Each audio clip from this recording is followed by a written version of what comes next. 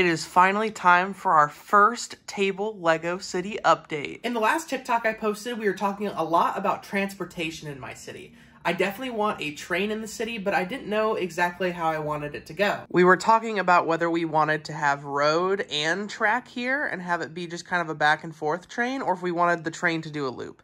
And I think with putting all this track out and seeing kind of what it would look like and doing different designs, I think I want the train to go all the way around. So not only did I buy track for the city, but I bought our train for the city. The express passenger train is going to be our first train, and I'm really excited about it. The next big question is what we want our train tracks through the city to look like. This is what the Bricklink design looks like that I'm taking inspiration from. Bricklink. Bricklink.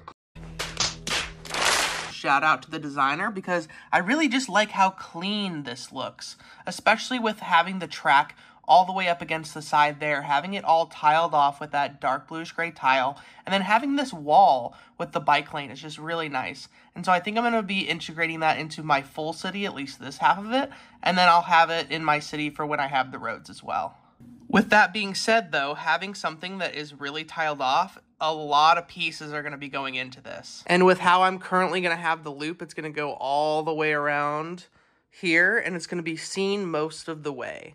So overall, I'm going to have to make 21 different base plates with track on them. Six of them will go behind here, so it won't really be seen, and so I don't feel like I need to go super hard on those, but I definitely want it to look really nice going throughout the rest of my city. When it comes to big projects like this and things that I want to do that are going to take a lot of pieces, kind of like my mini roads that I did on my shelves, I do, I have a system of kind of like what I do first. I first find the design so I know exactly what pieces I need, and then I do my calculations like we talked about to figure out how many of those things I need to build, and then I go in and I create a list of all the parts that I need. Once I know all of that, I go through and I have a system of like a hierarchy of what I do to find those pieces. My first step is going to be to look at my own inventory and see what I have in all of my pab cups that I've collected over the past and see just what I have to where I don't have to buy. Once I've figured all of that out, I'm going to go through and see exactly what pieces the color matters. This is going to be huge when it comes to finding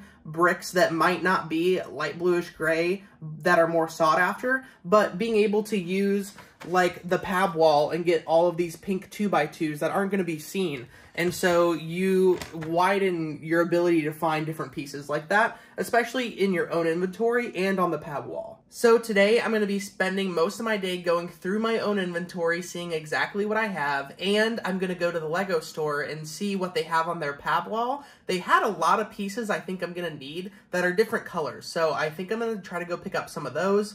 But after that, I'm then going to look on lego.com because it is two times points this weekend to see about how much the rest of it I need will be. As you can see, all of my pab cups are still so unorganized, so it doesn't make this any easier. I do have a ton of this 2x2 dark tan tile that I was going to be using for like my sidewalks, but I'm not going to need a ton for my sidewalks, so maybe we tile it with this instead of the dark bluish gray because we have so much of it. I think that's all I'm seeing as of right now that's going to really help us out. I think a lot of this is just other random stuff that I thought would be helpful that I found, which it might be helpful for other projects, but it's just not going to be helpful for currently what we're what we're looking to do. As you can see, my desk is also an absolute wreck. Um, and so, yeah, we, we definitely need to do a little bit of organizing today. Um, I think I do have a pretty good grasp of what I have, though, in terms of pieces that aren't really being used. And so I'm going to go ahead and head to the Lego store and see what they have on the pab wall. All right, they have a bunch of stuff that we're actually going to probably need. They have the 2x4, they have white tile here, which I know they use the dark gray, and we were talking about using the dark tan, but I could just get a bunch of this and do like white all the way through. I think that would look pretty pretty slick as well. Because then for the like wall design, we could also use those. And they have the 2x4 plate that we need.